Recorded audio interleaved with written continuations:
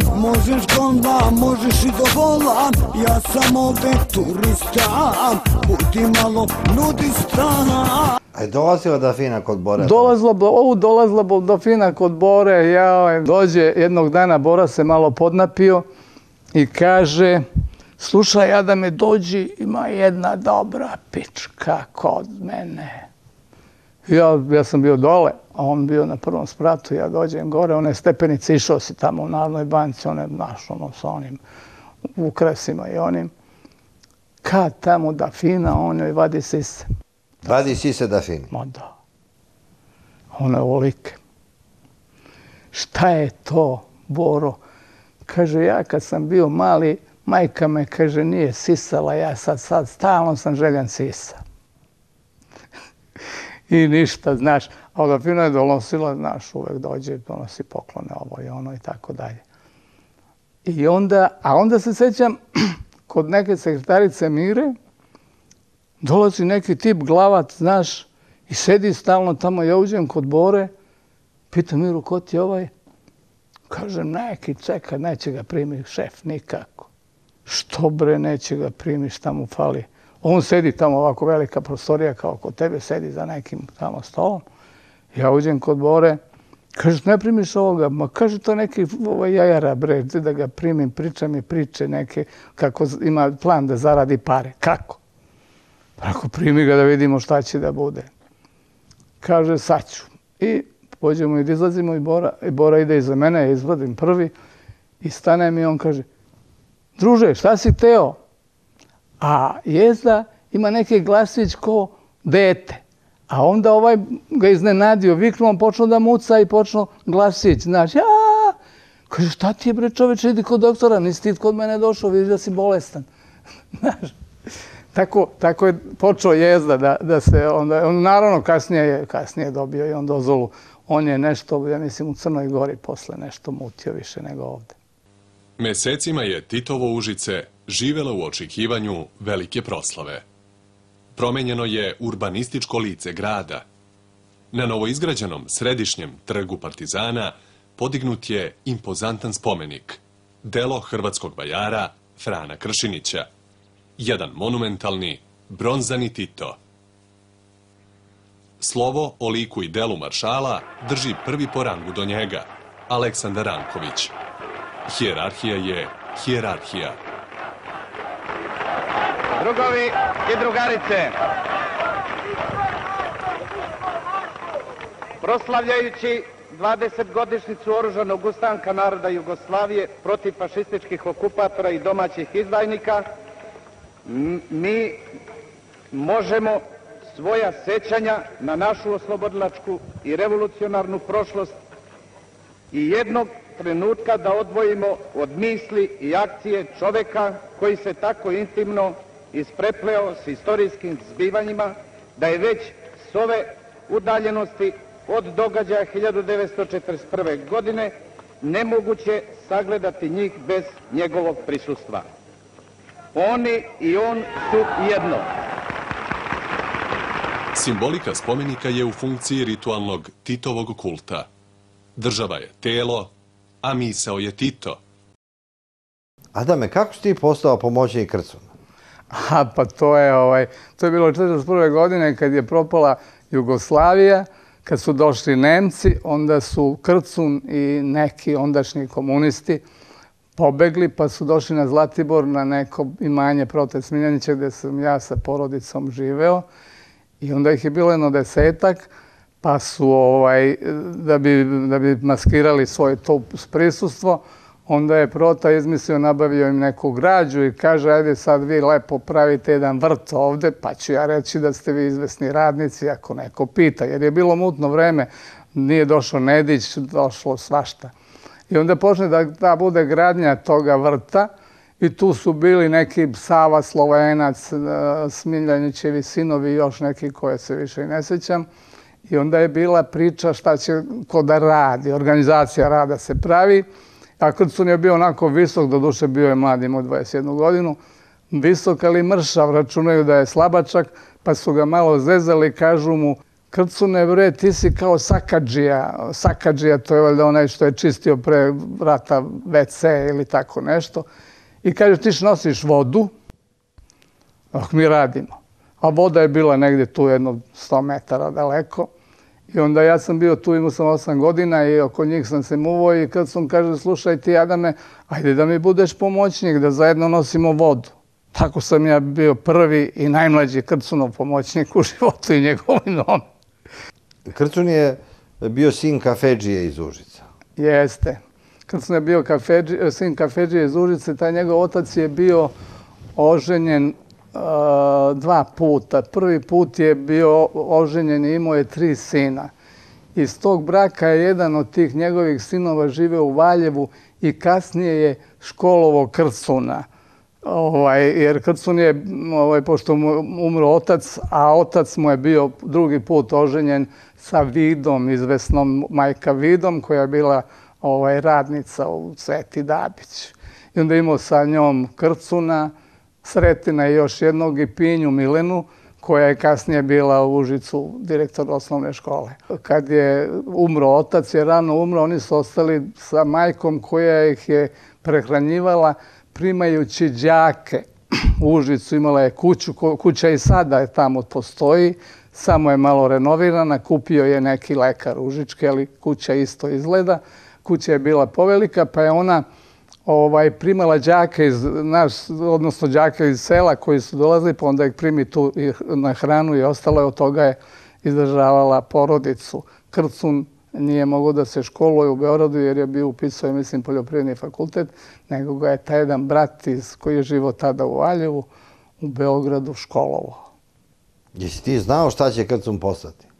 Pa nisam znao šta će postati, ja sam znao da je onda bio na Zlatiboru najviše, najviše, najviše zezan. Oni su ga najviše zezali i nisam, niko nije mogao da sanja da će kad sam biti neki bog Isus kasnije, a onda je bio boća. Nosaš vode sa mnom. Obični vodonoša je postao strah i trepet Srbije. Pa ne bi ja nikad rekao da je kad sam bio strah i trepet, kad su, nas su se plašili oni što su morali da se plaše ali ovaj kad sam je bio dobar čovjek on ovaj on nije on nije bio svaki trepet za narod. Ja se sećam recimo kasnije kad je došlo oslobođenje pa kad smo ovaj kad sam ja upisao se u, u, ovaj u gimnaziju Užicu i onda je došao krcom pa je sve đake Užičke gimnazije o, o ekonomske škole i svih škola srednjih pozvao u Sokolanu da nam ispriča neku priču ja se sećam, pored ostalog je rekao, ovaj, vi ste budućnost ove zemlje, ali ljudi nemojte samo da igrate kola. Jer ne možete sa Zlatiborom s kolom otići u Pariz, nego morate naučiti da igrate i te okretne igre. I to mi je ostalo vrlo upečetljivo. Ostalu priču bila je politička, ne sećam se. Ti se često viđao sa Krcunom i on je vodio računa praktično o tebi. Pa jeste, vidio sam se često s njime. ja sam imao ja sam imao kao đak negde sa 14 godina neku ovaj imao sam neku aferu tamo u gimnaziji zabavljao sam se s nekom devojčicom i bili, bili smo zaljubljeni do ludila. I naravno ja sam pokušao neki seks neka čuda. I naravno ona nije nije htela nije ovo nije ono. I nekako se desi Mi smo negde bili u tamo nekom velikom parku, desi se da ja nešto je oko gačica petljam, ne uđem tamo, ali... Ali ostane trudna. Ona ostane trudna. I sad, pošto je bila iz ove porodice neke vrlo ovako, malo, malo, malo ovaj, poštovane i poznate, a bila je jedinica, ne znaju šta da se radi. Šta tebi otac kaže? Meni otac kaže imaš da je oženiš i odmah te teram iz kuće jer je bio besan, bio lud, kako sa 14 godina praviš decu, tek si počeo da učiš u gimnaziju. I onda šta se desi, ovaj, preuzela je njena, od te male preuzela tetka da to završi, pa je, je vodila kod nekih lekara da abortira, jer je trebala da završi školu i završila je, kasnije se udala sa nekim i tako dalje. Ima decu, naravno. I, ovaj, I onda dođe kod lekara, on, ona nevina, ne, nije deflorisana, jer to je ušlo između. I, ovaj, I kažu, lekar neće da abortira zato što ne sme da se seče himen. Nema govora. Kažu, nek ide, nek to završi, pa onda nek dođe. I mala kaže, neću ni sa kim, samo hoću s Adamom. I ja onda to obavim naknadno, naravno, sa velikim žaljenjem. Šta je ona tebi rekao kad je došla? Ona kaže, ovaj, ubiću roditelje, zašto ne daju da, da, da, da rodim normalno. Bilo je strašno stalo da rodi, naravno i meni, ali bilo je nemoguće. I ništa, onda je... Koliko ona imala godina? Pa imala je jedno 16. A ti 14? Da, bila je malo starija. Nisam uvek imao sa starijim ženama posla, ali tad se to desilo. I sad ti treba da joj probiješ himen. Jest. I Kako je to izgledalo? E ona, evo ovako, dođe, ovaj, dođe, ne znamo gde ćemo. Problem je sad, ne možeš to da radiš u parku. Onda njena tetka organizuje da nas pusti u njen stan, da budemo sami. I onda smo mi, ovaj, bili smo jako, ja sam bio jako nezvećan i znam da mi je trebalo puno vremena da se skoncentrišem da to uradim.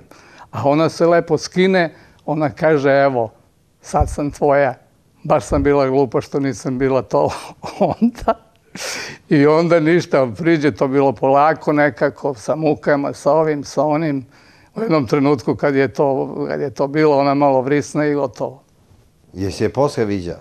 Jesam, vidio sam je posle, ali, ali posle sam ja, ovaj, ne, ne znam, nije nešto se ona udaljila, valjda to je bio neki, ipak neki stres za to vreme, za te godine, tako da je ona otišla da, da, ovaj, da uči, ja sam još napravio bio neke probleme. Šta si radio? Pa bila je neka profesorka, profesorka biologije, bila ovaj, bila, nije bila udata, bila je stara baba, Zora Zanković.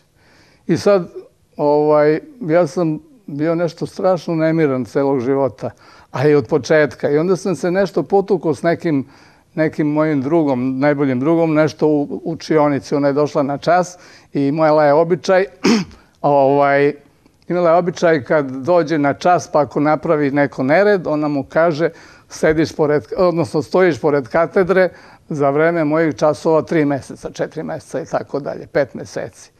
I ja, ovaj, i naravno mene kazni nekom velikom kaznom i ja ne znam nije šta sam rekao, baba, devojka, ovo ono, i mene isteraju iz škole.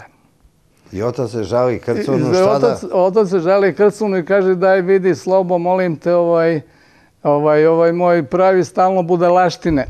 ne znam šta da radim s njime, nego kaže vidi da ga vrate. Krcun kaže ovaj, neću, da, neću da ih molim, a neću ni da im naređujem, nego ga vodi ovaj kod uh, Ace Čizmića, nek on malo radi kod nas, to je Aca Čizmić je bio šef udbe u Užicu, nek malo radi kod nas, pa ćemo ovaj, posle, kad malo sazri, da ćemo mu nek završi neku školu, pa ćemo biti sve u redu. Šta si radio kod Ace Čizmića u Udbi? Pa Aca Čizmić je bio vrlo malo, posle toga je otišao za Beograd i bio je direktor Inexa. Kad je formiran Inex i kad, su, kad je Udba formirala svoju firmu da bi mogla da izađe napolje, da bi mogla da uzima pare i tako dalje i da bi mogla da uđe u neke sve, uglavnom na zapadu su išli da, da ovaj prave. Praktično svi krcunovi drugovi Udbaši su postali funkcioneri spoljne, trgovine. spoljne trgovine, sformirani su Inex, Genex, Progres. Progres. To su bile udbaške filijale Sve. i izlazak Srbije i Jugoslavije na zapad. Izlazak Srbije na zapad i ovaj prikupanje ovaj određenih ovaj obaveštenja o zapadu. Jer je onda već bio počeo sukob sa Staljinom, a pre toga je bio sukob sa zapadom. I onda su potrebni bili podaci. Ja znam da su prikupljani za to vreme, to je dugo trajalo, dugo trajalo, mislim, Genex je trajao do, do skoro, dok nije ovaj Miki došao, on je valjda, šta je, ne, i on je, pion je bio, nije on bio udbaš, ali su udbaši bili. Vlatko Dražević, poznati direktor Valala filma, koji je sredio sve glumice, iako nije znao ni jednu reč, koliko ja znam, ovaj, ni, jednog, ni, ni, ni engleskog, ni nemačkog. Sve što je došlo od, od, ovaj, od glumica i od ovaj, statiskinja, ja mislim da je to sve prošlo kroz ruke Ratko Dražević. Ratko Dražević mi je govorio da je ubio 2000 ljudi i spavao sa 2000 žena. Ti nisi nikog ubijao, si samo spavao s 2000 žena. Pa nije bilo 2000, bilo je možda 1000 i po, jer ako sam počeo u 14. godini pa do, pa do, 7, do, do 80, Znači ti si imao ipak manje žena od Ratka Draže. pa dosta manje je Ratko je bio prvo, prvo, znaš što znači, direktoravala filma. Tamo su snimane one koprodukcije u to vreme, naročito dugi brodovi i tad je Ratko ovaj, sve što je došlo od glumica ili statiskinja, mislim da je to prošlo kroz Ratkove ruke, ne znam. Sve što je išlo na dve noge. sve što je išlo, to je sređeno. Ja nisam, ja sam ovaj, to nešto manje, jer ako Pa dobro, sam, i ti si ipak hiljadu i po, to nije pa oko hiljadu i po. Ako se uzme da sam počeo u 14. do 80. Evo da sam svaki mesec menjao po jednu, to je, to je 700.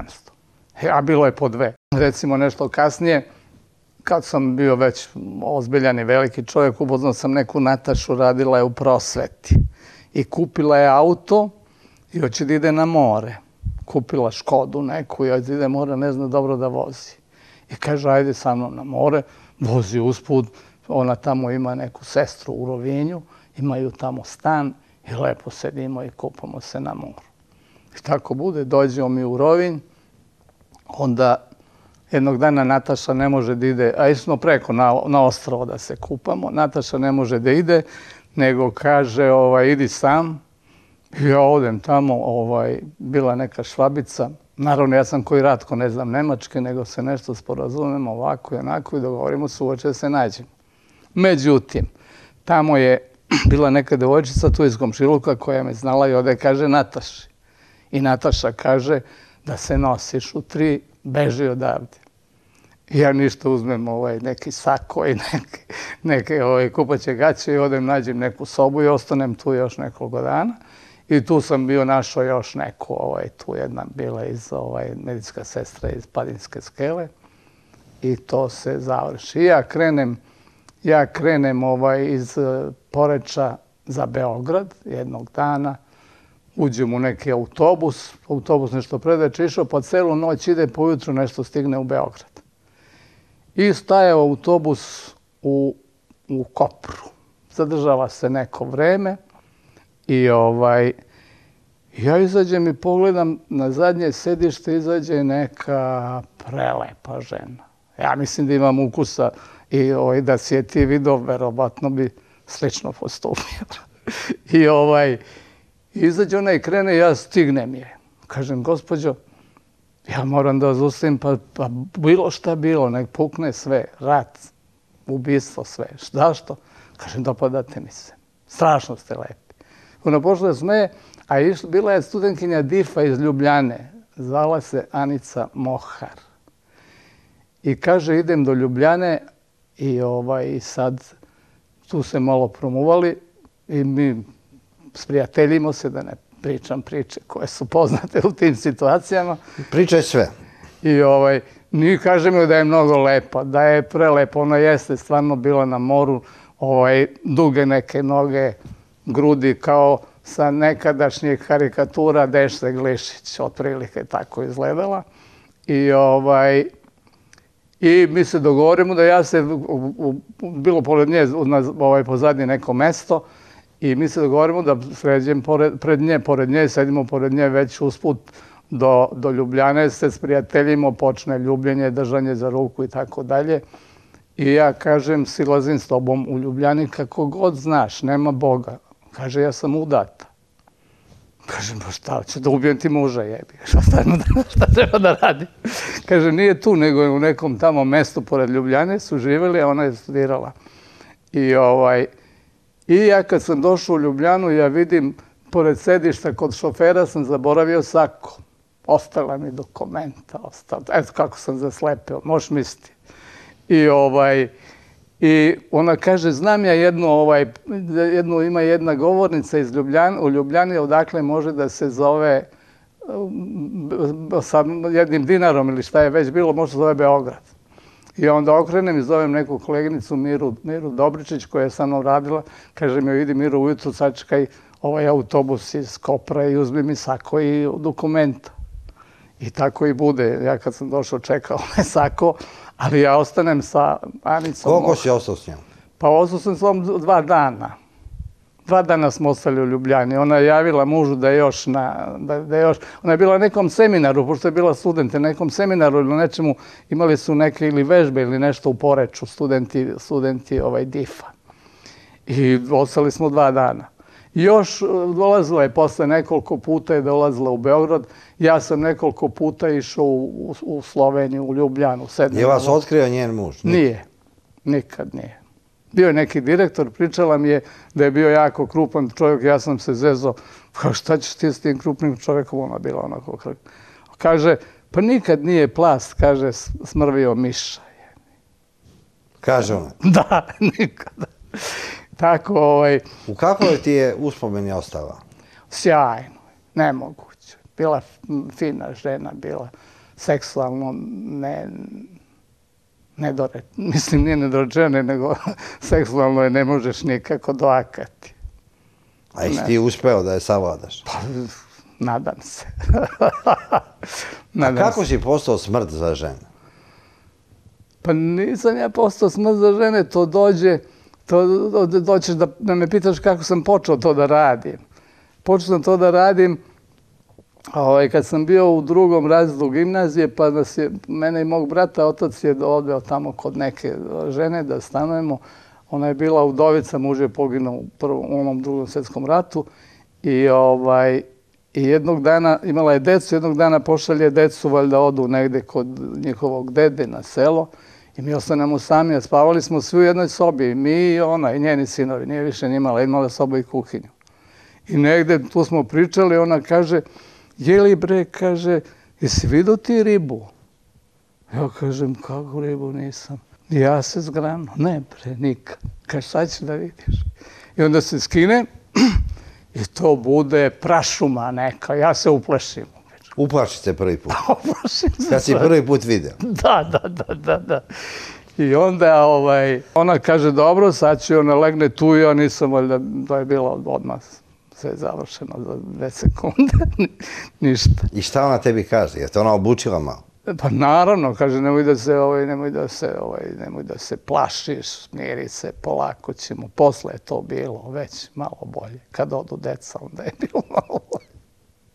Znači ona je praktično bila prva tvoja učiteljica seksa. Uglavnom, da, ali mislim, to je, ne možeš to tako reći, ja sam celo vreme učio.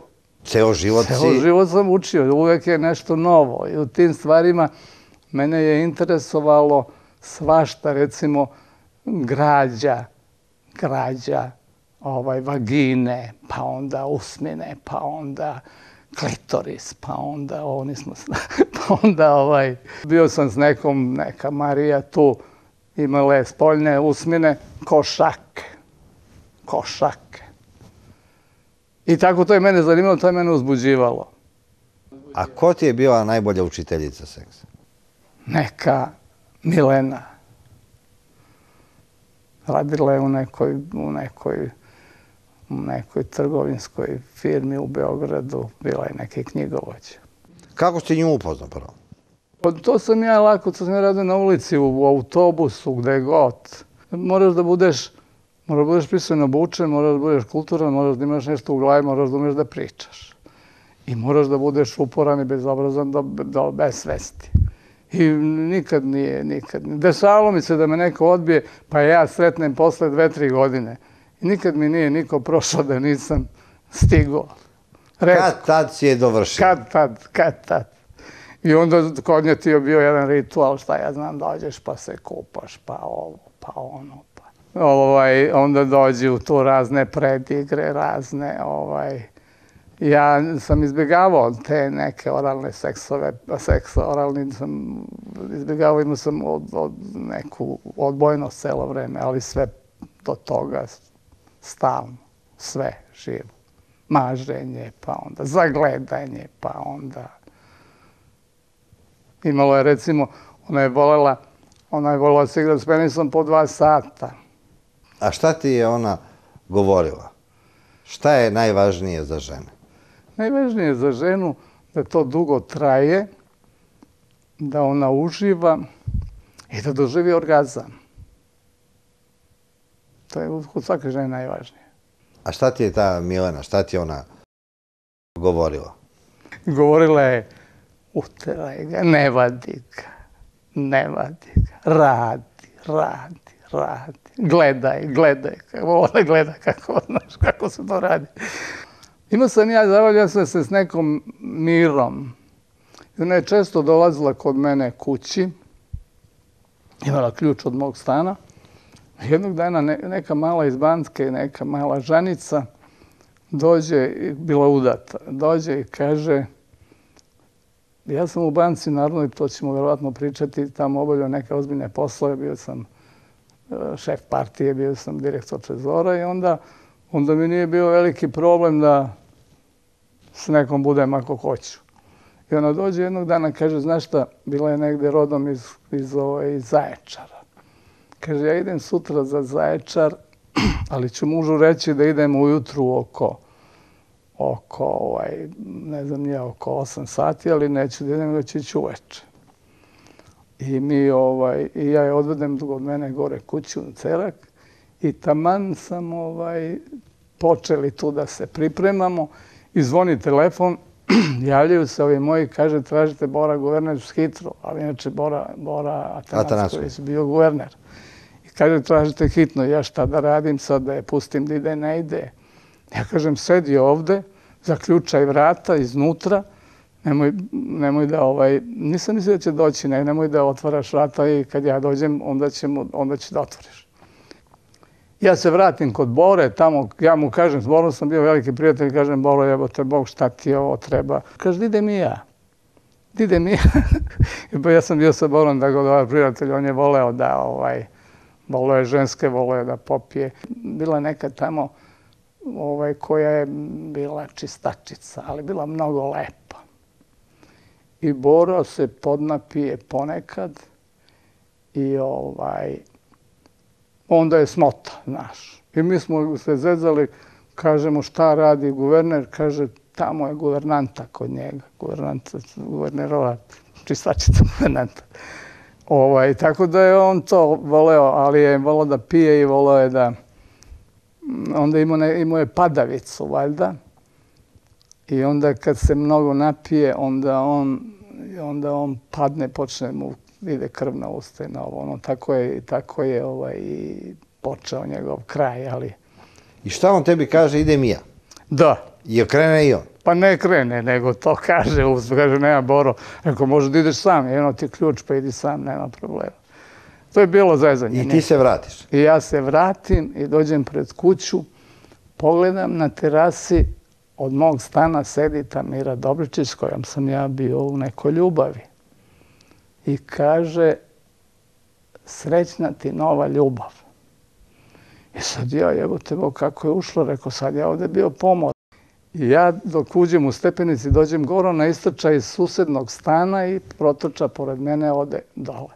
Šta je uradila? Ona je došla, moj komšija je verovatno joj javio, pošto ga znala. Da si priveo. Da sam priveo neku i da unutra sedi neka žena, da sam ja otišao. I ona dotoči, imala je ključ da otvori, ne može, ključ je bio drugi iznutra. Ona zvoni kod komšije, kaže, ovaj, ne mogu da uđem unutra, da nešto je zaboravio ključ ili nešto, mogu li ja preko vaše terase, pa na moju terasu poduđe unutra. I uđe kroz prozor. I ona ne, nije ušla, ovo je, ovo je, čim je vidjela da se preko terase preba, ovo zatvori terasu. I tako da ona sedela na terasi, a ona je sedela, ona žanica je sedela unutra, razumeš. I ovaj, dođem ja, ne, više nema kakvi seks, nema ništa gotovo, sve ona, ovako se trese, kaže, a to trajalo dva, tri sata.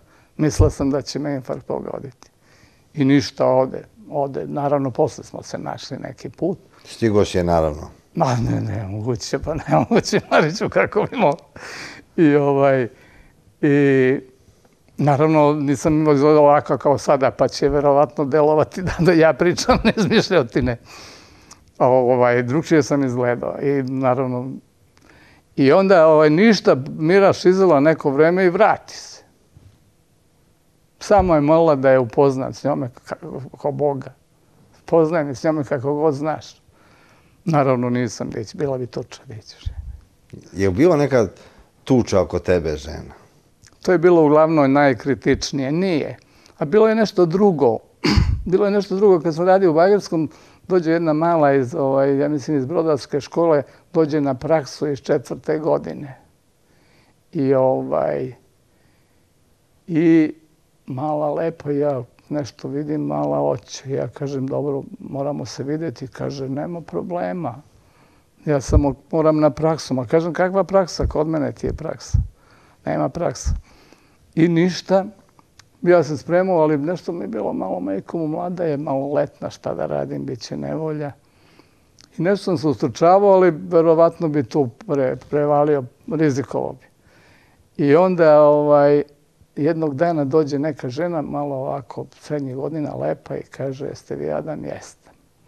Kaže, mogu li sam da pričam? Možete. Kaže, moja sestra je tu na praksi, kaže, ovaj, rekla mi je da, da hoće samo da spava. Zaljubljena je. Nemojte, molim vas, ona je nevina, ja ću. Kad časno ti reći, ja ću. Tetka se nudi, Ma sestra, sestra njena. sestra starija, ne diraj dete, ja ću. Časno ti reći, Jesi ti obe sestre na Pa kraju? nisam, malo nisam dirao, ali ovo jesam. Malo nisam I dirao. šta ona se nudi da odmeni sestru? Jeste, nevina je, ne igre se. Mora da se uda. A su neke žene čupale se za kosu Ne. u tvom prisustvu? Ne, Je bilo tuče neka? ne, ne, ne. Zbog mene ne. Zbog mene ne. I uvijek sam to gledao da, da, da bude diskretnije malo nego što. Čekaj, kod tebe je diskrecija uvek bila zagarantovana. 100%. Jedan put sam razgovarao sa legendarnim latinskim ljubavnikom Marcello Mastrojani. Opa. I ja sam ga pitao da on bio najveći zavodnik u Evropi, imao najlepše žene i Katrin Danev i Fej Danave i mnoge druge. To on kaže, to je, kaže, običan izmišljeni mit.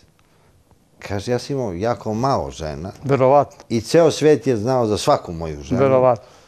a pogotovo moja zakonita supruga koja se s tim nije slagala. Pa kaže, svaki moler, svaki knjigovođa je imao više žena od mene. Javne ličnosti imaju malo žene, jer ste odmah pročuli. Izloženi su javnosti 100%. Ne može, njega čekaju uvek 30 novinara. Uvek neki, neki od dežura da vidi kad izađe, kad, pa, pa sve, pa jure vas, pa i tebe verovatno jure. Doduše ti nisi iz te ovaj fele. Na. Ti si bio oženjen. Jesam. Je ti se žena mešala u privatni život? Ne. Ne. Je ti dozvoljavao da imaš slovno devojke i... Pa nije mi dozvoljavala, ja nisam ja to, ovaj, nisam ja to dozvoljavao, ona je verovatno znala, ponešto je znala jer me nema, odem negde, odem ovde, odem ovde, pa me nema i tako dalje. Jeste. Ali ovaj, nismo se, razveli smo se ne zbog toga, nego zbog, to, kako kažu pravnici, neslaganja naravi uglavnom. Uglavnom. I ovaj, ona je ona ostala u, drugom stanju dok je bila devojka i nije htjela da abortira. Ja sam se sa njom uglavnom zbog toga oženio. Nisam baš bio siguran da bi se oženio da nije ovaj, bilo ostalo u drugom stanju, ali mi je bilo žao da tog dečaka koji je kasnije se rodio, da ga ovaj, da abortira, nisam to, nisam to nikad dozvoljavao. A je te žena uhodila, te pretresala? Nije, nije, pa nikad ja nisam sve sam stvari došao u kancelariji, kompromitujući. A ovaj, ona tamo nije mogla da uđe, imao sam kasu, uvek u kasi sam nešto. Šta je bilo sve u tvojoj kasi? Šta je bilo u mojoj kasi? Da.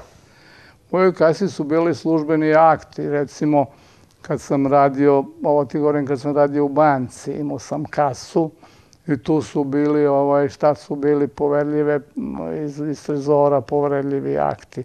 Onda su bili, ako sam neke podatke prikupljao nekome, trebao da ih nekome dostavim, onda su tu bili tu.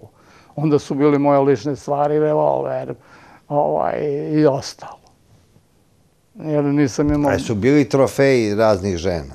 A bilo je, da, bilo je. Imao sam, imao sam, ovaj, imao sam, podio sam dnevnik, imao sam i fotografije, imao sam fotografija mora, imam neke fotografije i sada. Onda sam vodio dnevnik, tako da sam bio upisivao sve tamo šta se de- dešavalo, šta nije. I primjedbe I Na razne žene? Sve. Kako Opis. to izgledalo? Pa, recimo, ovaj, treba, danas se video sa, recimo, Marijom. Sa nekom, Marija je stvarno postajala. I to je neki zanimljiv slučaj.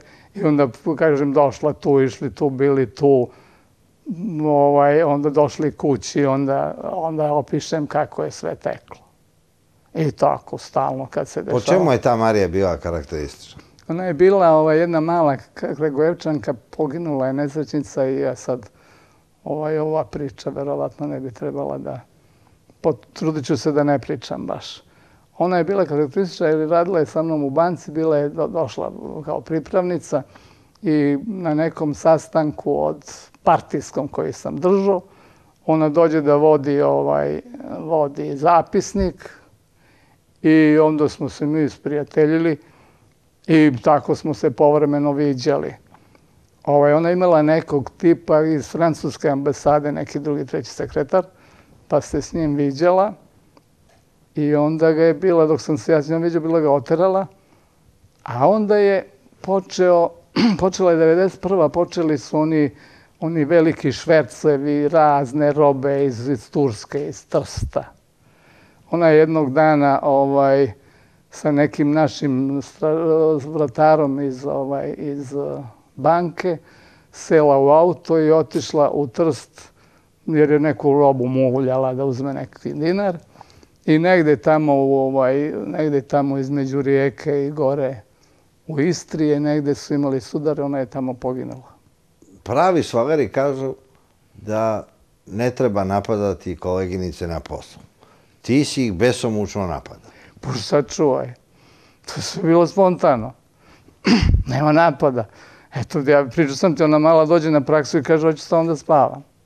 A čekaj, često se dešavalo da sediš u kancelariji i pored tebe žene i da nema ni jedne koju već nisi overio. Skoro da nema.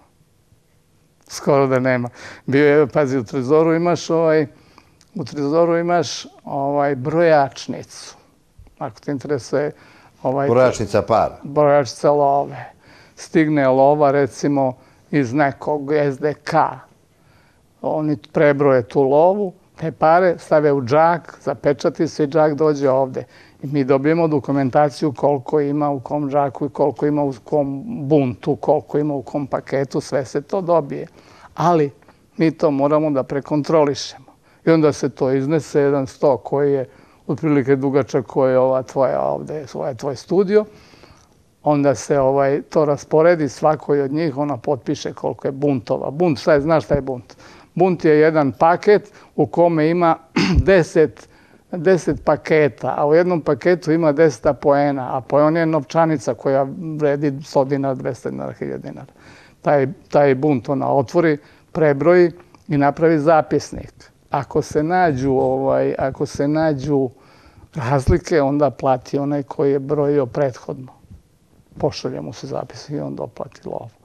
Tako da, ovaj, tako da tu nije bilo, ali mi imali smo i pored toga, ovaj, imali smo i pored toga ovaj, jednu krađu, masovnu krađu, ovaj, u, u, baš u brojačnici, što je inače skoro nemoguće. Jesi neke ženske privodio u trezor i tamo ih iskoristio? Ne, nemoguće. Ne možeš dođeš u trezor bez, bez trojice. Imaju tri sa ključara, tri ključa. Ja nemam ključ, ja sam Čekaj, mogu... ti si ovugo bio na pare, tu si svaki dan u kontaktu s parama, više si vole uvek žene nego pare.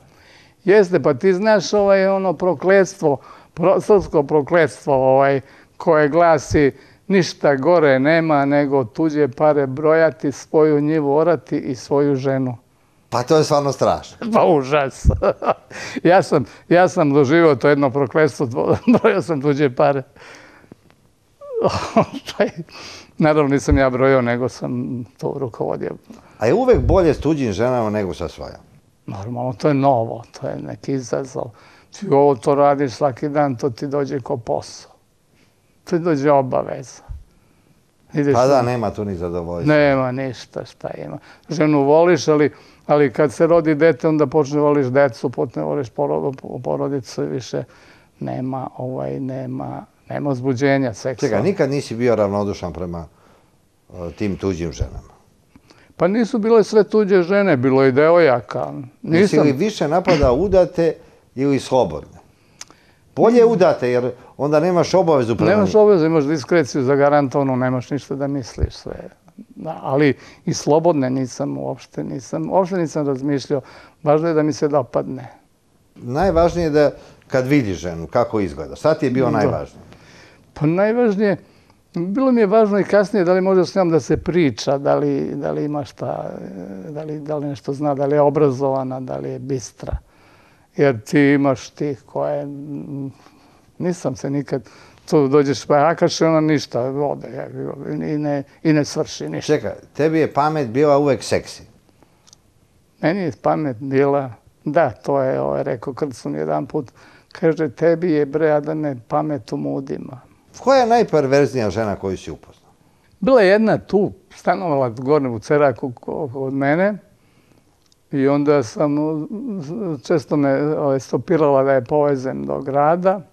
Tako počne priča i ona jednog dana kaže ovaj, za mene seks ništa nije ako to ne radimo analno. Ništa nije. Kako bre čoveče, ne mogu to kažem, pa to ti je istiđao kao da ga gurneš u WC šolju. Ona kaže, pa čoveče, ako ti ližem guzu, pa to je uža, to je strašno, to je veliko zadovoljstvo. Naravno, to nisam, imao sam takav, ovaj, imao sam takvu ženu koja je bila toliko perezna, ali sam, ovaj, smučilo mi se bilo. Užasno je. A je tražila neka žena sam da dovede i drugaricu da vas bude više? Jeste jedna, ovaj, bila je udata, bila je udata z nekog inženjera, bila je i ona građevinski inženjer, negde je sad u Bosni. I onda, kad je pukla neka firma tu, šta ja znam, neka firma je tu radila i onda je ovaj, počela se bavi nekim trgovinom, počela se bavi nekim, znaš ono što su prodavali sve i svašta. I onda je imala, imala je neku, ovaj, nove ovaj je neku ženu koja je bila šef, ona to organizuje, ona recimo dođe i kaže ovaj, e, udružujemo se, pravimo, pravimo banku. Pa svak da po neku lovu unutra i onda kad ti treba neka para ti onda uzimaš. I onda tako se to širi, širi, širi. To je, To je bio konaj lanac sreće. Lanac sreće, kao puče lanac srećeve kobili i odoše kolani za stranu, to je otprilike bilo. I ona jednog dana kaže, imam jednu ovaj, svoju instruktorku, kako li se zove, ovaj, ne udate, ajde da je dovedemo da, da radimo zajedno. I naravno radili smo, ali ništa, ne, ne. Nije bilo Bog zna šta. A nije ti se svidjelo ni u troje, ni u Ne, četvoro? ne, ne, ni- nikad, nikad, nikad, nikad. Ja sam bio individualac. Nisi volao ni orgije, nisi? Ne, bož, sad ću, ma kakvi. Nisi, jesi učestvovao na nekim orgijama? Ne, ne, ne, ne, ne, ne, nikad. A ne mogu da shvatim, ti si uvek bio protiv oralnog seksa. Zašto? Mislio sam da, da ću dobiti neku infekciju ili nešto, u prilike. Tako a drugo, iz nekih razloga mi je to bilo odvratno. Ne znam zašto, ja sam bio klasičan tip. Onako kao što su moji preci to radili. Ali teoretičari i seksolozi smatraju da nikakva perverzija ne postoji. Među dva čoveka da, nije. da je sve normalno što ljudima prija. Pa jeste Mariću, ali to je recimo da si sa svojom ženom, pa da si s njom stalno. A ja sretnem danas ovu, sutra neku drugu. Kad si išao na neku operaciju i kad si bio skrhan, da si ostao bez muškosti, šta su ti savjetovali? A da, ja sam pre, ovaj, pre godinu dana sam, ovaj, imao sam rak na prostati. I sad to je malo gadna stvar, taj rak na prostati ovaj, hoće da metastazira na kosti. I onda to umreš u najstrašnijim mukama. Ja mislim da je kod tebe o tome pričao ovde neko, Kalesić, o, i o Toma, Toma Zdravković je to imao. I onda ja to odem i sad ovaj, odem negde ovaj, u odem negde u Dragiše Mišovića bolnicu, jedan mi kaže od tih mm, lekara, vadim ti prostatu. I šta bude posle? Kaže, ništa, stavim cevčicu i posle, ništa, sve normalno. Ma kako normalno da stalno nosiš kateter, čoveč, to je užas, katastrofa. I onda sam ja poznavao i sad znam ovaj profesora, profesora ovaj kardiologa ovaj Tapčijovskog sa VMA i odem jednom kod njega i on kaže slušaj sad ćemo to završimo. Pozove profesora Milovića. Profesor Milović jedan dasa, ne daj Bože ako nekom ustreba, nek ne ide nigde nego kod Milovića. I ja odem kod njega u 10 sati u noć, bio dežurni, pregleda me i kaže ovo da radimo ovaj da radimo zračenje, ja imam šećer, onda to pošto se moraju dobijati ove hormoni, onda sa šećerom go nadrljava da da radimo ovaj tu ovaj radikalnu, kaže to ja ne radim sem kad moram. I šta ćemo profesore? Kaže ništa dođeš ti, šta ja znam za neki dan, ja ti izvadim jaja i ti ideš kući, nema problema. I ja tako i uradim, međutim, prema sam otišao, javim se nekoj mojoj prijateljici u Požezi, Zorani Korać, kažem, srce, nema gotovo više, nema ništa, sad sam ko zumbulaga. Mogu da idemo. Uštrojili su me. Uštro, uštrojit će me i nema govora, nema više ništa. Doćeš, dođeš još dok nisam otišao. Kaže, što si blesav? Kaže, šta ti, ništa to nije. Kaže, znaš ti, kaže, kad, kad bi ribica imala zube, šta bi se vama muškarcima desilo? Šta, kažem, kaže, vas 50% bi ostali bez prstiju. 40% bez jezika, svega 10% bi ostali bez kite. Šta te briga tih 10%, to nema veze. U tvojim godinama to ništa ne znači. Tako da te ona utešila? Tamo on utešila me, nema problema nikakve. I ništa, tako se desilo, ja sam to završio. Došao sam, u, došao sam ujutru, u jedan sat mi to radio ovaj, Milović, sutra dan sam otišao kući. Ništa, bez ikakvih lekova, bez ičega. Tako da je, mislim, Toma Zdravković pogrešio. Jesi nekad bio u smrtnoj opasnosti zbog te ljubavi prema ženama? Pa nisam bio u opasnosti, ali sam bio jedan put u nevolji nekoj. Neki muž od neke je bio doznao da, mu, ovaj, da sam mu sa ženom i zove telefonom i kaže ovaj, ti jebeš moju ženu. Kažem čovječe koji si, šta si, kako, gde? Kažem tu i tu i tako i tako. Ma kažem čovječe Boži, pa šta sam ja tu kriv? Pa kažem, šta je ti ne jebeš? Ili možda ne je dovoljno, pa šta, šta ti ja radim čovječe?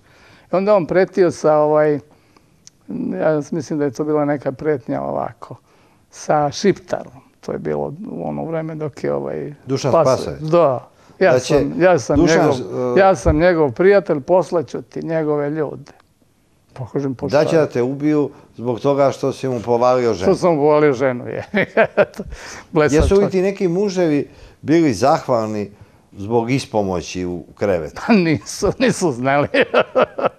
nisu znali da su znali, možda bi nisu znali. Ovaj, nisu, pa, bio sam diskretan, ja nikad nisam pričao o tome. Ti si često seks snimao? Jesam. Kako si snimao? Pa to je prosto, nije, nije to ništa, to sa aparatom, staviš aparat pa onda ga montiraš i onda sačekaš onih pet sekundi pa onda... A su žene se protive da ih snimaš tokom seksa? Pa nisu, nisu, nisam to, nisu, naravno da nisu. Vole su i one da vide kako to izgleda kasnije na fotografiji. A čekaj, ti si snimao kao fotografije? Fotografije, fotografije, nisam, nisam imao kameru. Nisi imao kameru? Mm. I ti imaš jednu zbirku porno fotografija gdje si ti glavni junak. Pa imam, imam, ali ne bi, ovaj, ne bi prikazivao zato što ima žena koje imaju porodice, imaju muževe, imaju decu. Ima jedna slika koju sam ti pokazao, to je neka od novih i ta mala je izuzetno. Koliko ona ima godina? Pa kad smo to radili ima je 30 pre 10 godina, sad ima 40, ja imam 80 kako ćemo. Za tebe nikad starostna granica nije bila pitanja? Nije bila dok nije došao Milović. Dok nije, u dan oči toga sam, dan oči toga sam, veče, pre nego sutra sam išao na VMA, a uveče mi bila jedna s kojom sam vodio ljubav zadnji put. Nije znala da je zadnji put, naravno. Nisam Koliko imala godina? Pa imala 50.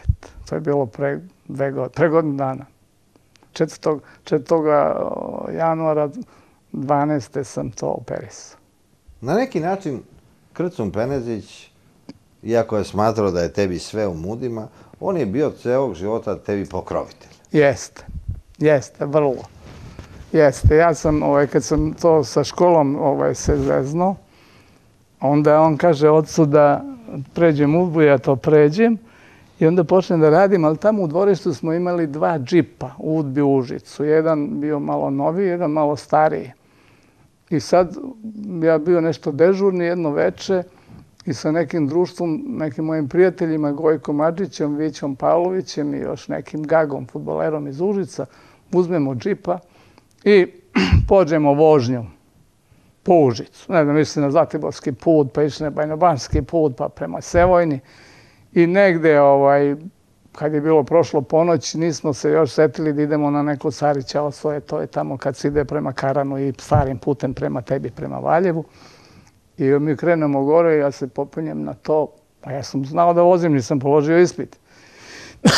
I ovaj, i kad se vratimo sa tog Sarića osvoja, to je neka nizbrdica, pa dole se kad se ulazi u Užic ima neki mostić i ja pređem taj mostić i izgubim iz nekih razloga brzinu. I valjda i kočnica ili nešto otkazalo, ne znam više šta je, ja tresnem u neki kamen sa desne strane, džip se prevrne, razbije se prilično, ali nama nije bilo ništa, malo se ugruvali. I mi odemo kući, ovaj, odemo kući i ništa neki svet, samo se pomoli, nije bilo saobraćaja, tada nije bilo ništa, to je bilo, to je bilo 50. godine. I ovaj, neki se čovjek pomoli, čuva udarac i ništa. I mi izbrišemo kući, ne treba bolnica, ne treba lekar. I ja sedim kući, ujutru dolazi tadašnji načelnik Luka Dragojlović, načelnik Udbe Užicu, sa policajcem. I kaže, jesi ti lud? Pa što nisi uzao Radin džip? Rada je bila, Radina kola, Rada je bila neka privatnik, Užicu što je imala neki kamiončić, valjda ona jedina je bila tada privatnik. I kaže, što si uzao udbinu džip čoveče Božije? Pa ja kaže, ne mogu Radin da otključam. Jebi. Kaže, mora tapsim. I ništa. Ja kažem, nemoj dok mi uopsiš, nemoj mi govoriš ocu.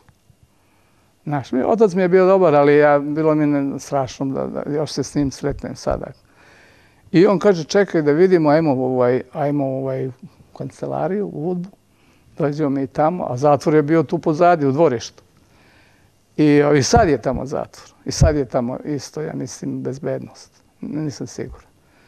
I kaže on, moram da se javim Krcunu zato što te on doveo. I on zove i nešto govori, dobro, dobro. Kaže, ovo je tvoj stamat, poslan Stamatović, ovo je tvoj mali stamat, veliki stamat je bio moj otac. Kaže, noćas je, kaže, slupo onog jednog našeg džipa. I kaže, kaže, pa nije mnogo džip ili neko, kaže, nije niko povređen, dobro su. I kaže, ja moram da ga apsim. I onda on čuti, čuti neko vreme, kaže, da, da, u redu, kad su nekako ti kažeš, u redu. I kad se završio priču, spusti slušalicu, kaže, znaš šta mi je rekao Krcun? Šta ti je rekao? Načelniče, kaže, rekao mi je da će me zatvoriti i mene i sve nas ovde zato što te nismo naučili da voziš, jer si mogao da izgineš. Eto šta sam ja značio za Krcun. I naravno nisu me apsili, nego sam nastavio da radim. Šta si radio u Udbi? U ono vreme je Tito bio u, u zavadi sa Rusima. To je Posle bilo za vreme... 48. I, jeste, za vreme Inforbirova 48. 49. godine. I onda su, ovaj, onda su oni bili tamo u mom kraju, tamo kod Ljubiša, kod Bele reke, ovaj, tamo gdje je ona planina Murtenica. Oni Tito je pravio tajno sklonište ako Rusi napadnu da se tu skloni centralni komitet. Jeste. Ako Rusi napadnu, da se tu skloni centralni komitet, jer odande bi im lakše bilo da, da preko Crne Gore, to odmah tu blizu, da se spuste do mora i da pobegnu ovaj, naravno tamo su bili brodovi podmornice. podmornice i ostalo tako da je to to je građeno dugo nekoliko godina i ovaj i tri objekti još uvek stoje tamo koliko ja znam mislim da ih obezbeđuju šta je unutra, ne znam. Mislim Možda je- radioaktivni otpad. Možda neki radioaktivni otpad, o tome je bila neka priča tamo po, po Uljubišu, Beloj reci u Jasenovu, ali to se nešto stišalo, da li je to zato inače to su bili podzemni ovaj podzemni objekti slični nešto ovim o kojima se govori ovdje po Beogradu sa sa uređenim prostorijama za život, za rad, za ovo ono, sa agregatima za, za osvetljenje i tako dalje. Ali da bi se to maskiralo, i u Ljubišu i u toj Beloj reci su napravljeni ribnjaci. Ribnjaci su, pa smo mi donosili ovaj, kalifornijske i neke druge pastanke, pa se to tamo gajilo, tako da je celo vreme izgledalo pravi se ribnjaka, ne pravi se objekat. Uglavnom i to je bila jedna od zaštitnih mera. Šta gore je ribnjak, a ispod je podzemno sklo. Ribnjak je na reci, a negde je tamo u ćošku maskirana vrata za ulaz. Ribnjak se gradio da bi se skrenula pažnja, da bi se skrenula pažnja, gradi se ribnjak, a ne gradi se nešto drugo. A je niko nije ni znao šta se tu nalazi. Pa nije otkud bi znao, pa bilo obezbednjeno strašno. Tamo su, tamo su bili neki ove, meštani koji su radili, ali su bili tri put provereni i sto puta kontrolisani. Koliko si često viđao Krcuna? Vidio sam Krcuna dosta često. Ovaj, moj otac je išao kod njih tamo u kući, ovaj, njihova kuća i sad stoji tamo. Mi kod išli smo najčešće kod majke Vide, kod Pinje Milene, Milene koja je bila kasnije direktor i umrla je kao direktor osnovne škole u Užicu. Ovaj, tamo je bio sreten, ponekad sreten Krcunov brat, on je, ovaj, on je u Čačku bio direktor Slobode dugo. A išao sam često, išao sam i ovdje kod Krcuna dok je, ovaj, dok je stanovo na, na, ovdje na, Senjaku. na Senjaku. One dve kuće i sad tamo stoje, ne znam šta je tamo. Tamo sam jedan put, nešto sam mu doneo, ja mislim iz Užica vida poslala. I ovaj, tamo sam video Ratka Draževića, tamo sam ga upoznao, ali to je samo toliko. Ratko je tamo dolazio. Kod, on je bio Krcunov prijatelj. Jeste. Ratko Dražević je upoznao Krcuna sa svojim savjetnikom, umetničkim direktorom Mihiz. Borislava Mihizom, koji je u svojoj autobiografiji o drugima ostao jedno potresno svedočanstvo o Krcunu, koji u piću mu govori da su mu ruke krvave do lakata, da je Krcun nekad kaže do ramena. Do ramena. Krcun kaže. do ramena ili do lakata. Mihiz kaže do lakata, su ti krcune krvave ruke kad mu je krcun pričao neke doživljaje iz rata i posle rata. Ja mislim da, da, ovaj, da se to odnosilo uglavnom na dražu i na te. Jer krcun, ne verujem da je krcun krvario lično ruke. Ali to je bilo u nekom piću. I kad su, ja mislim da je to bilo u nekom zezanju. On je hteo malo da uplaši ovaj, ovaj Mihiza, jer Mihiz... I rekao je ne da su mu ruke do lakata, Nego do ramena. Do ramena. Da, rekao je. Rekao je, ali mislim da to nije istina. Krcun je bio jako dobar čovjek. Bio A je. postoja mit da on recimo noću ulazio u zatvor i da se ljubio i sa četnicima i sa svim zatvorenicima i da im je pomagao i da ako je mogao ih je spašavao, a nije ih streljao. Verovatno ima istine u tome. Ja znam, ovaj, ja znam, ja znam samo kakav je Krcun bio. Krcun je bio jako prek čovek. Neverovatno prek čovek. Ako mu se nađeš i ako ga nešto iznerviraš, onda si ga nadrljao. Međutim, kasnije se on strašno kajao i gledao je uvek da to ispravi. Gledao je da to ispravi. On je, ovaj, pored poslova koje je obavljao dok je bio prvo šef UBE, pa onda ministar unutrašnjih poslova, Pa pa onda predsjednik predsjednik Srpske vlade. Srpske vlade, izvršnog veća tadašnjeg. On se, on, on je recimo, on je recimo ovaj, u, u Smederevskoj ovaj, željezari poslao tamo nekog Čeperke, Čeperkovića, do skoro je bio živ, koji je ovaj, od te željezare napravio veliko čudo. Kad sam se bavio malo i dok je bio ministar, dok je bio predsjednik vlade i privredom, pa je imao jednoga svoga čoveka koji je bio direktor FAP-a, ovaj, Lavrenčića nekoga koji je bio izuzetan privred. A taj čovjek je uhapšen. Zašto? U to vreme je ovaj FAP još uvek uvozio osnovne delove iz Austrije. To je bila neka firma Saurer, pa su onda ti delovi još nisu bili osvojeni, pa su uvozili. I on je išao često, ovaj često je išao ovaj u Austriju I onda zapadnjaci, znaš kako su uvek, kako ne mogu da te srede, oni ti podmetnu kurve. I njemu su podmetnuli kurve, tamo je bila udba to gledala, pa je snimila.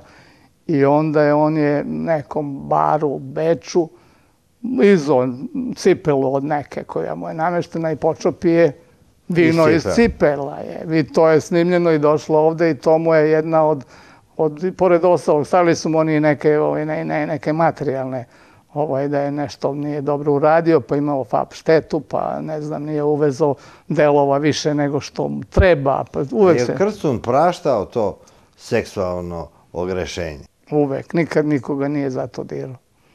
Naravno, ako ispadne afera, ako šta ja znam, i, i, i, i znaš, kad je, kad je ovaj Đurić, kad je Đurić na onom kongresu u Zagrebu optužio Peru, Šef Titovog kabineta, Ljubodan. je Ljubav Đurić bio, bio učitelj u mom mestu, u, u, tamo u Drenovi. Gdje je optužio Petra Stambovića da mu živi Da- da mu- sa da ženom, žena. a njegova žena je posle toga uhapšena Da, i napisao je spisak Krcunu da je spavao sa 52 člana centralnog komiteta. centralnog komiteta, jest. I onda Krcun se tamo, kažu, poneo da je Đurića ovaj, iz- izguro sa govornice.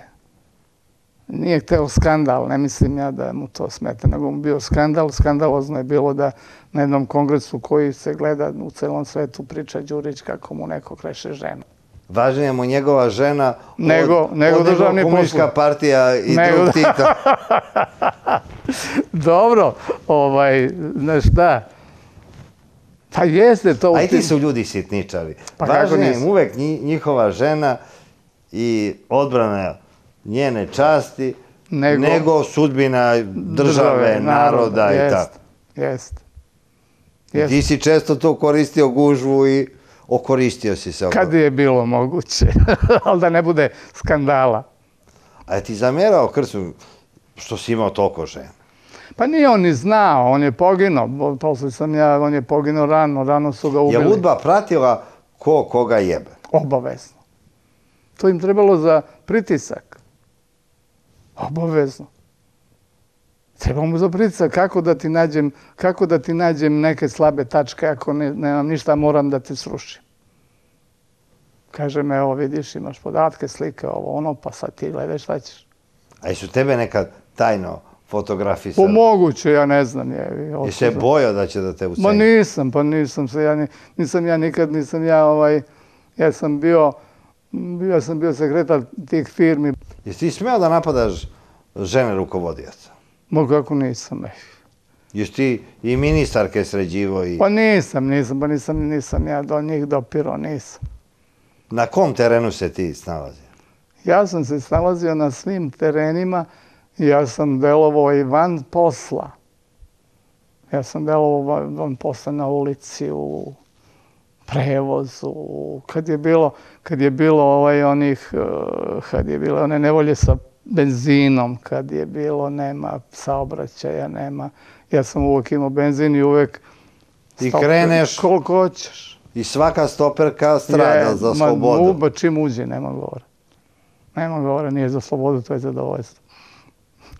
I ovaj, i upoznao sam tada puno sveta i van toga upoznao sam tada neku, ovaj, neku ženu koja je školovala tu decu ovaj, iz Amerike, naša, iz seljenik naš.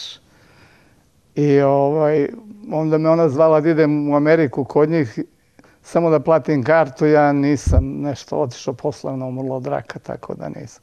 A je te neka žena odbila? Pa jeste, mnogo puta, ali nisam prihvatao. To odbijenje si shvatao kao poraz. Ne, izazov. Sredit ću te. Znači, kad te neka žena odbije, to je za tebe Izazov, izazov. pašćeš. I ne smiruješ se dok je ne stigneš. Pa nisam tako baš u tom smislu, ja sam uvek čekao. Nisam ja, ako me odbije, uvek neka druga ima. Ali, ovaj, ali sam čekao, pa najđe sledeći put, promene se okolnosti, sazreju okolnosti, posle onda nema problema. Ali su te žene se žalile tebi na muževe. često. Uvek kažu, uvek kažu, zapostavlja je, Šonja, šonja, nikakav je, ne diže mu se, ne, loše vodi ljubav, ne zna šta će mora. U priča je uvek ista. Ti si više bio humanitarni radnik Više. koji si u, usrećio tolike nezadovoljne žene u. Srbiji Ja i da je neko, neke sreće AFŽ ili neka ženska organizacija bi tebe bi Nagrad. odlikovala. Mnogi nezadovoljni muževi ne bi se ljutili na tebe, nego bi bili zahvalni što si im Donosio sam pomogao. mir u kuću. Ti si unosio mir i u tuđe kuće. Pa dođe uglavnom u moju nikad. Ti si nemir unosio u svoju kuću, Otuđe mir. u tuđe kuće si mir i spokojstvo unosio. 100%. Iz razgovora s Krcunom, šta pamtiš? Govorio je, uvek je sa mnom govorio, znaš šta, ovaj, trebalo bi da, da malo to malo sazriš, pa da te pošaljem u neku diplomatsku školu, šaljem te malo na stranu. Teo je mom ocu da učini, onda je, ovaj, moj otac je bio bolestan, posle rata ovaj, imao tuberkulozu i umro je 59. godine, pa je trebao da ide negde na golnik i išao je u Sokobanju i onda mu je on to završio da odmah ide, odmah me zvao mene i kaže vodi ga ovaj, u Sokobanju, onda je bio tamo nešto u Sokobanji, ali je bio neozbiljan, koji i ja verovatno, i ovaj, dok je primao tamo, pošto imao tuberkulozu, dok je primao ovaj penicilin, onda on pio, jebih. On, Roko, ja dođem, neki doktor bio tamo Košarević, dođem, kažem šta je sa, sa mojim ćeletom. Kaže, ja, čoveče, mi mu damo penicilin, on dođe sutra dan, kad dođe da na penicilin, on kaže mrtav pijan. A I, čekaj, je ti davo neke savete za život? Krc? Jeste, ovaj, kaže, slušaj, ovaj, ja sam dužan i prema tebi i prema tvome ocu, ja moram nešto da uradim za tebe, nemoj da ostaneš na tome, da se tu zezaš po tim nekim firmama ovim i onim, nego da, ovaj, da, da se malo ozbiliš, da se oženiš, praviš decu, da imaš porodicu, da ovaj da završiš, završiš neku školu, ja ću ti rediti oko škole i posle te šaljemo nešto da radiš ozbiljnije, da se ne zezaš i oriš te ženske stalno. Ima toga, to možeš usput. Evo, u tom stilu. Javili su mu da ti juri nisu? ženske. Ma kako nisu? Govorili su mu uvek. Šta su mu govorili za te? Pa kaže onaj, nema, onaj kaže mali stamot je neozbiljan tip, njemu nikad nije dosta ribe. To je užas živi. To je užas živi. To je verovatno istina. Jer ja kad sam sad bio na ovoj operaciji od prostate, meni su rekli da sam imao lučenje ogromno, nenormalno veliko lučenje ovaj, testosterona. Ja sam uvek bio u erekciji. Uvek spreman. Uvek. Mislim da je u tome neki problem. A jesi nekad zakazao? Nikad. Nikad. Nikad. Pa ti si medicinski fenomen. Pa nikad nisam... nisam Zato su te žene toliko i volale. Nikad nisam, ovaj, nikad nisam, nikad nisam ni išao, a da nisam spreman. Ali uvijek sam bio, kad recimo vidim ženu, ovaj, lepo ovde, ovde na ulici, odmah sam, odmah erekcija. Odmah, ja. Odmah. Kad mi se dopadne. I to je onda opterećenje, ti ne možeš onda ništa da radiš. Ne možeš se smiriš dok ne dođeš do nje. Da, da, da, da. A čekaj, iz e, razgovora s Krcom imaš još neku epizodu? Pa sam je bio o ve- o velikim ovaj, prijateljstvu sa Protom Smiljanićem. Proto Smiljanić je ovaj, bio naš prijatelj moga, i moj i moga oca i mi smo živeli tamo na I Zlatiboru. Protas Miljanić je tebi dao ime. Dao mi je ime Adam zbog toga što ovaj što mojim roditeljima pre nego sam se ja rodio umrlo je četvoro dece. I kad sam ja trebao da se rodim, onda su oni u ono vreme 34. godine, to je bilo u martu, 25. marta, oni su bili kao ne, neobrazovani ljudi skloni da veruju u vrađbine i ostale stvari. Nisu ni išli, ni, ni nisam se ja rodio kod lekara, ja se rodio napolju po snegu, napolju ispod prozora. I onda je onda su oni savjetovali moje majci da kad se bude porađala da mene rodi ovaj na polju pa da me unesu kroz prozor. A Proto Smiljanić je, ako bude muško, rekao da mu damo ime Adam, to je prvi čovjek, da će vam se zadržati ta muška deca. Naravno, posle se rodila još dvojica braće i tako danas je bilo. A majka je rodila sedam, bra, sedam, sedam muških ovaj, sinov, sedam sinova, sedam muške, muške dece. Mhm. I, ovaj, I onda je Prota se, odnosno Krcun se stalno interesovao za Protu, šta radi Prota, šta ima novo u Sirogojnu, šta ima ovaj, ko je živ, ko nije i tako oko A je govorio nekad o Titu Krcu? Nikad. Nikad. Znam samo, nikad nije. Pa nismo mi bili u tom, ja nisam bio. Ali Krcun je često Ima, ima u neke... pijanstvu znao da kaže Titu, druže Tito, još više bi te Volao da si Srbin. Da si Srbin, da nisi Hrvat. Jeste. Ima neka priča, to su mi rekli neki ljudi koje ja, o kojima verujem, kad je Tito dolazio u Užice, negde 60. godina, bio veliki neki doček u Užicu, bio, došla je, došla je bio čitava Srbija tamo da ga čeka i onda su uveče išli na Zlatibor na večeru. I kad je bila ovaj večera, Tito imao one kučiće, one male, kako se zove oni? Pudlice. Pudlice, da. Krcun je bio domaćin tamo, sedao je tu pored Tita, držao govor i u jednom trenutku ona pudlica mu skoči na tanjir, zgrabi parče mesa ili već nečega. I Krcun poludi i šutne ga. I Tito skoči kao oparen. Kako možeš da biješ kučiće, koji si ti zlikovac, ovo, ono. I ono je bio poludeo, rekao sam ti da je bio jako ovaj, impulsivan. I kaže, predsjedniče, ja nikad nisam do sad jeo sa psima. Ne mogu ni dalje. Ti si znao dosta ljudi koji su bili prijatelji Krcuna. Koja je ovako za istoriju najzanimljivija priča koja je nepoznata o Krcunu? Kad pobesti, šta je sve spreman bio da radi? Pa kad pobesni bio je spreman da, bio je spreman da apsi, bio je spreman da, da, da uf, maltretira užasno. A od ljudi koji su se, od, od ovih, od, on je bio, on je, njega je Ranković jako voleo. Ranković ga je voleo, Ranković ga štiteo. Krcun je imao, ti znaš verovatno epizodu ovaj u, u Prijepolju, za 43. godine, kad su ih razbili Nemci, kad je bila ona nepažnja. On je bio tada, ovaj, bio je tada uh, politički komesar druge proletarske brigade. U to vreme su u to vreme su iz Srbije tu uže tajnim kanalima bili došla, došlo po, po, pomoć, došlo, došlo popuna kadra, došlo jedno 30 ili 50 mladića koje su tajnim kanalima provedeni i došli tamo, onda su ih Nemci bili zbili to nepažnja, Nemci su prodrli preko nekog mosta i ovaj i bio je pokolj. Pa je Tito bio besan i hteo Krcuna možda i da likvidira, tada ga je zaštitio Ranković. On je bio smenjen, išao je sa jedinicom ovako, dok nije se ukazala potreba, ja mislim da ti to znaš, da pošalju neke komandose na, na Koponik, da likvidiraju Četnike i valjda je bilo Bugara. I ako je bilo neke krvi do lakata, ja mislim da je kad su na to mislio prilikom tih likvidacija. Oni su se na tom terenu zadržali sve dok nije došlo oslobođenje. A posle rata jesu ti pričali kako se Krcun ponašao, ti si... Posle rata su u Krcunu pričali sve najlepše. Posle rata niko nije o Krcunu ništa loše rekao. Ovo što se sad priča, to je bilo u nekim situacijama kad niko ne zna, niko ne vidi.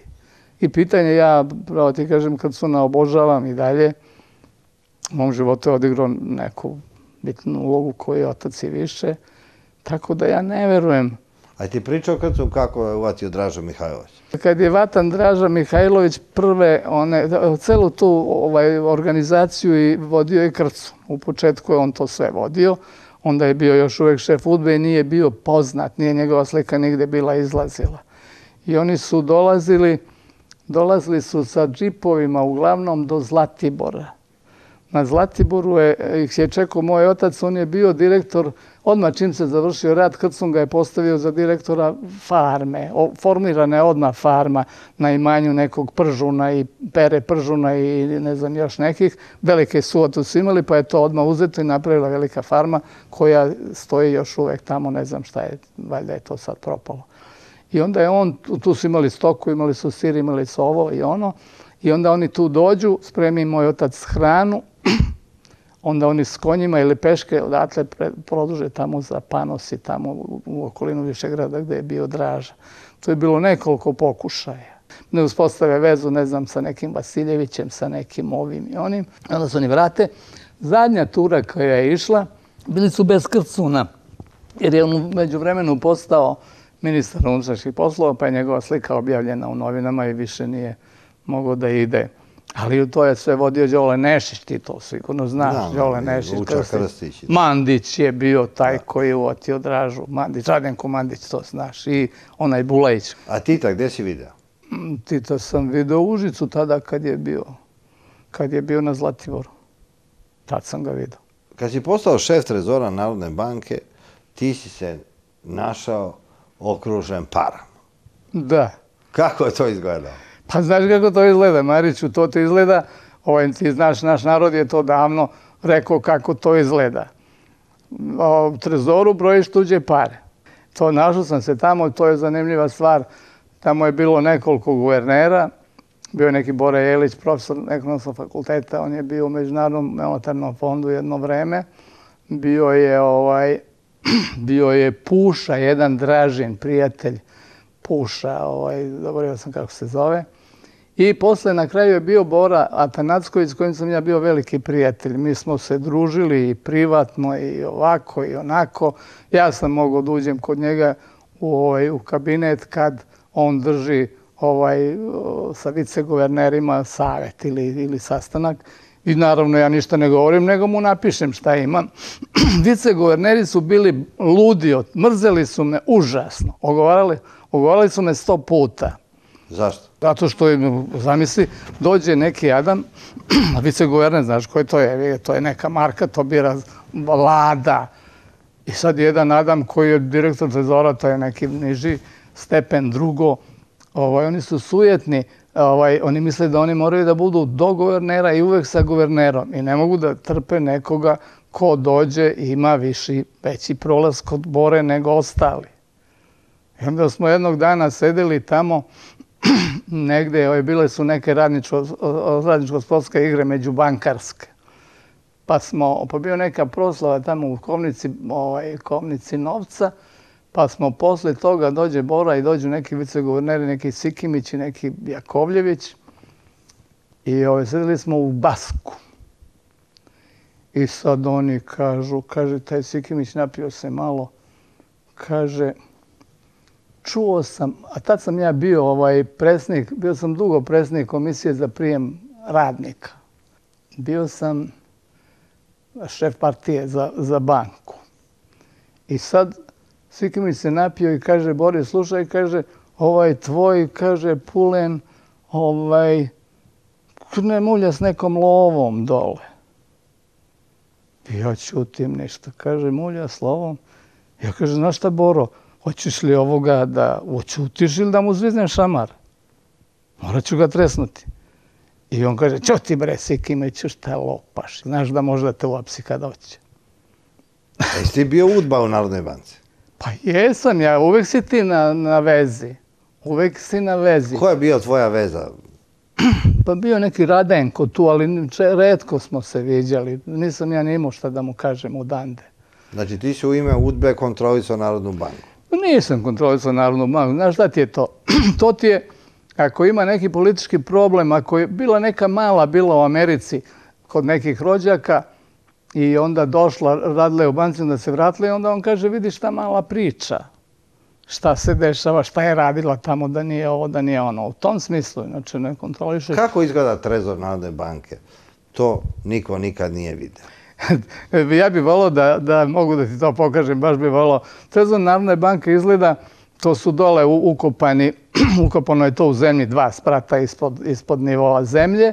To je rad, ta zgrada je rad, to je 7.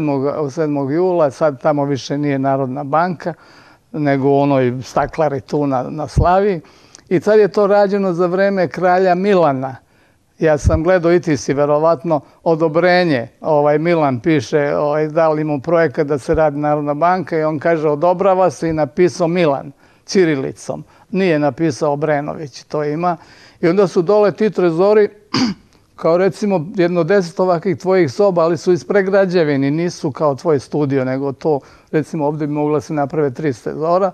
To su stalaže, ogromne stalaže i tu se sad donose ili džakovi sa novcem ili se donose u buntovima i redko kad u, u paketima. džak je platneni, ima specijalni ovaj, blombu, kad se blombira ne može se otvori, premda su to udbaši radili. Ovaj, kad je negde posle rata ili 40-50 neke godine su džakove koji su dolazili iz, iz, iz, sa sveta, izvlačili su niti, nit, znaš, džak je izatkan. Izvuče nit, džak razdvoji, uzme šta mu treba ili promeni dokumentaciju, veže nit i čak šalje. Recimo, to je bilo, za, za, to je bio neki skandal ispao sa Turskom. Nešto su ovaj, sa tim džakovima muljali tako. Imalo je specijalista koji ga otvori ništa. Kakvi.